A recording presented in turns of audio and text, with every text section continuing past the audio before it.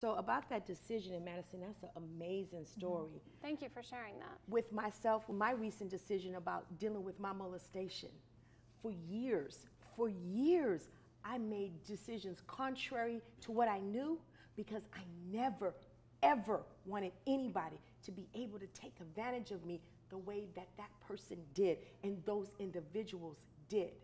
So, with that being said, and it was a difficult decision. It was a really difficult decision. And I struggle with it now as I share with you. I don't want everybody in here knowing that I was molested. There's a label that goes with that. But I had to make a decision for me. Madison had to make a decision for her to say that irrespective of everything that's going on, Stacy, you are an amazing woman.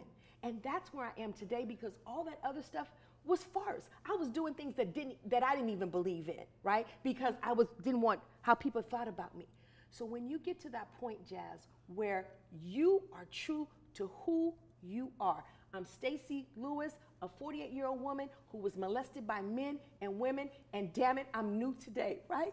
it's different, but you have to, and I can say that. Yeah. I couldn't say that before. That's what a decision looks like.